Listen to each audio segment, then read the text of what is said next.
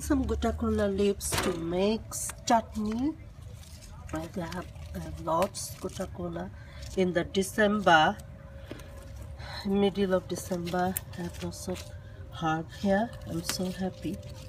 Mm, in England, this is not very available plant really. I bring this from internet, and this is growing well in UK really.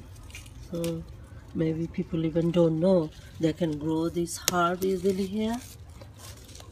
So this is very very healthy plant.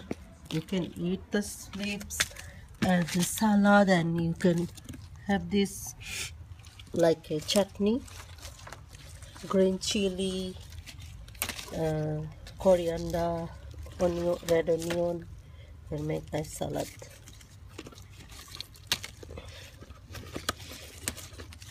very very good health benefit they have.